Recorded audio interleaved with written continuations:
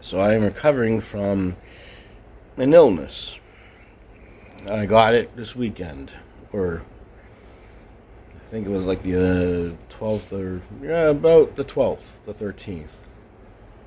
And um, it was a doozy. I don't get colds too often. When I lived in Florida, I think I got five out of the 20 years I've been there. So I was pretty proactive of not getting it while I'm living here. Funny part is, I got it. However, I drink about a gallon and a half of liquids, but mostly water, or water type substance. And then I have, oh, a cocktail that I created. So I still take the cocktail and whatnot. The worst of it I had was Valentine's. I literally was bedridden.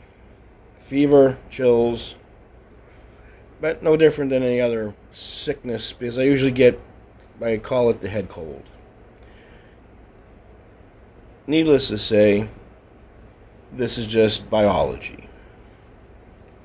Coincidentally, there are some people in this world who believe in higher magic. And one of those people are non existent anymore on this earth. Just the same time, I got my cold. Actually, just before, or no, after I got my cold. So I am now in my healing stage, and that person's six feet down in the earth.